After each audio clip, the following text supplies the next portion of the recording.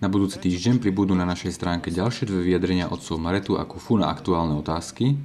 Diabol má vliate vedomosti a my máme získané. Jak je v tom rozdiel? Pokazí sa ti auto, príde diabol, aniel, aniel, je, hoci je padlý aniel diabol, on má vliate vedomosti.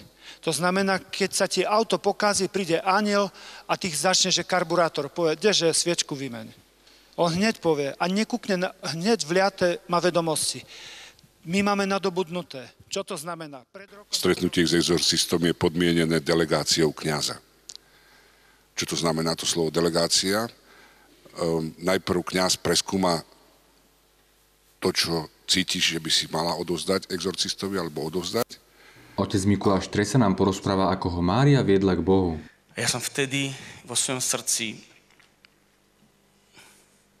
povedal Bohu, že ma opustil. Že ma Boh sklamal.